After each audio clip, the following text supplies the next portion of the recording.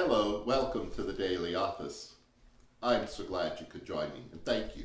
Today is Friday, October 6th, and today we celebrate the life and ministry of William Tyndale and Miles Coverdale, who were translators of the, uh, the Bible. Here is the commentary from the book Holy Women, Holy Men, celebrating the saints. William Tyndale was born about 1495 near the Welsh border, and he received his bachelor's and master's degrees from Oxford, and he also studied at Cambridge.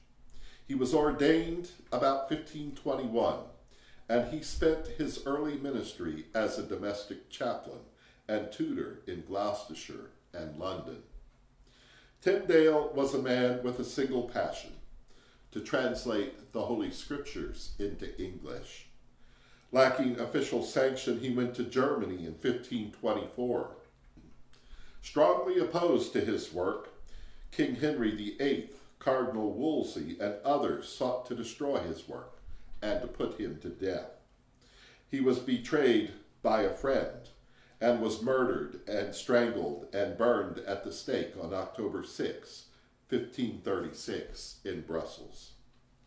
By the time of Tyndale's death, he had completed his translation of the New Testament and major parts of the Old Testament, particularly the Pentateuch.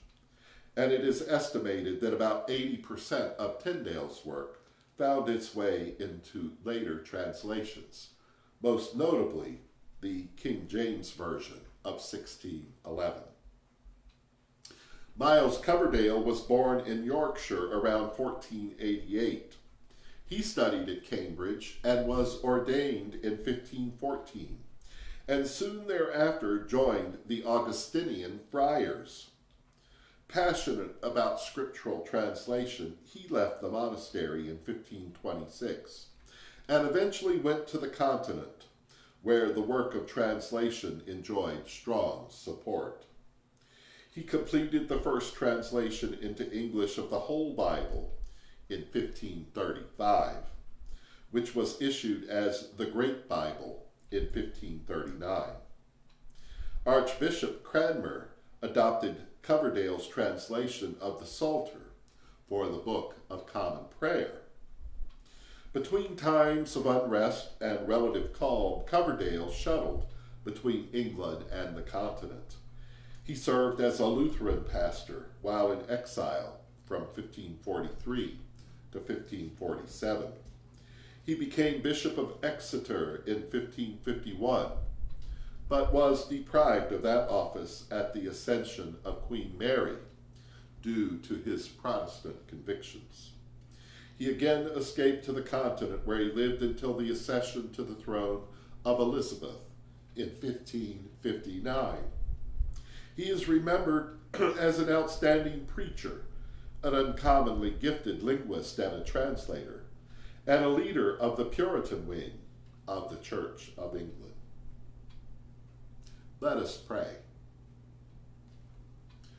Almighty God, you planted in the heart of your servants, William Tyndale and Miles Coverdale, a consuming passion to bring the scriptures to people in their native tongue and you endowed them with the gift of powerful and graceful expression, and with strength to persevere against all obstacles.